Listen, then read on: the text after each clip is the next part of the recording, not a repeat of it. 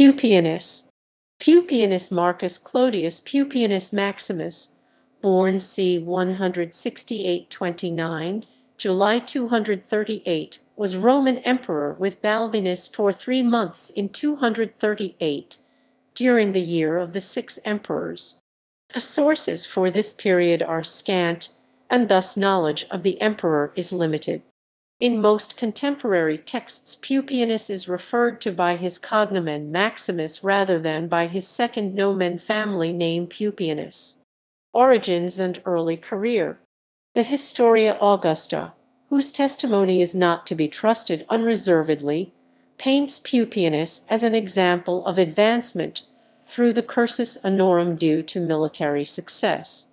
It claims he was the son of a blacksmith was adopted by one Pescennia Marcellina otherwise unknown, and who started his career as a centurio primus pilus before becoming a tribunus militum, and then a praetor. Pupienus's career was allegedly impressive, serving a number of important posts during the reign of the Severan dynasty throughout the late 2nd and early 3rd centuries. This included assignment as proconsul of the senatorial propraetorial provinces of Bithynia et Pontus, Achaea, and Gallia Narbonensis. In fact, Pupienus was part of the aristocracy, albeit a minor member, and his family had possibly been elevated only recently. Hailing from the Etruscan city of Volterra, it has been speculated that Pupienus was the son of Marcus Pupienus Maximus, a senator who was the first member of his family to enter the Senate, and wife Clodia Pulchra. The claim in the Historia Augusta that Pupienus held three praetorian proconsular governorships is unlikely. For one thing, as Bernard Rémy points out, during Pupienus' lifetime, the province of Bithynia et Pontus was an imperial one, governed by an imperial legatus. Rémy points out another problem, that being awarded three praetorian proconsular governorships violates what we know of Roman practice and lacks any similar cases. Rémy pointedly quotes the opinion of André Chastagnol who recommended to admit an information provided by the Augustan history only if it is confirmed by another document and considers that, faced with such an unreliable source, one must permit methodical doubt and hypercritical attitude to prevail. No fasti or list of governors of any of the three provinces to which the Historia Augusta assigns Pupienus includes him as a governor.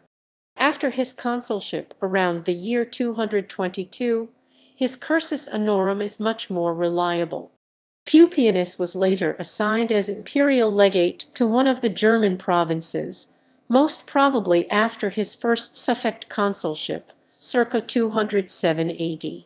While governor, he scored military victories over the Sarmatians and German tribes. At some point after he concluded his duties in the German province, the sortition awarded him proconsular governorship of Asia. In 234, during the last years of Severus Alexander's reign, he was installed as consul for the second time. In that same year he was also appointed urban prefect of Rome and gained a reputation for severity, to the extent that he became unpopular with the Roman mob. Reign When Gordian I and his son were proclaimed emperors in Africa, the Senate appointed a committee of twenty men, including the elderly Senator Pupienus, to coordinate operations against Maximinus Thrax until the arrival of the Gordians. On the news of the Gordians' defeat and deaths, however, the Senate met in closed session in the temple of Jupiter Capitolinus and voted for two members of the committee to be installed as co-emperors Pupienus and Balbinus. Unlike the situation in 161 with Marcus Aurelius and Lucius Verus, both emperors were elected as pontifices maximi, chief priests of the official cults. According to Edward Gibbon drawing on the narratives of Herodian and the Historia Augusta, the choice was sensible. The mind of Maximus Pupienus was formed in a rougher mould than that of Balbinus. By his valour and abilities he had raised himself from the meanest origin to the first employments of the state and army. His victories over the Sarmatians and the Germans, the austerity of his life, and the rigid impartiality of his justice whilst he was prefect of the city, commanded the esteem of a people whose affections were engaged in favour of the more amiable Balbinus. The two colleagues had both been consul, and, since the one was sixty and the other seventy-four years old, they had both attained the full maturity of age and experience. However, factions within the Senate who had hoped to profit from the accession of the Gordians manipulated the people and the Praetorian Guard to agitate for the elevation of Gordian Roman III as their imperial colleague, leaving his senior colleague Balbinus in charge of the civil administration at Rome.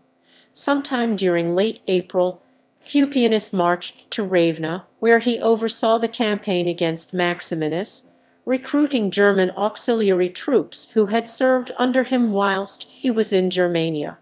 After Maximinus was assassinated by his soldiers just outside Aquileia, Pupienus dispatched both Maximinus' troops and his own back to their provinces along with a considerable donative, and returned to Rome with his newly acquired German bodyguard. Balbinus, in the meantime, had failed to keep public order in the capital. The sources suggest that Balbinus suspected Pupienus of using his German bodyguard to supplant him, and they were soon living in different parts of the imperial palace. This meant that they were at the mercy of disaffected elements in the Praetorian Guard, who resented serving under Senate-appointed emperors, and now plotted to kill them. Pupienus, becoming aware of the threat, begged Balbinus to call for the German bodyguard. Balbinus, believing that this news was part of a plot by Pupienus to have him assassinated, refused, and the two began to argue just as the Praetorians burst into the room. Both emperors were seized and dragged back to the Praetorian barracks where they were tortured, hacked to death in the bathhouse. Family Three individuals have been identified as his children. Titus Clodius Pupienus Pulcher Maximus, consul suffectus c. 235, and patron of the town of Tibur outside Rome, has been identified as his oldest son. Marcus Pupienus Africanus Maximus, consul ordinarius in 236 as the colleague of the Emperor Maximinus Thrax, has been identified as his youngest son. These consulships in the family, across the reigns of Severus Alexander and Maximinus Thrax, Pupienus also had a daughter named Pupienus Sextia Paulina Cethegilla, wife of Marcus Ulpius Eubiotus Leurus.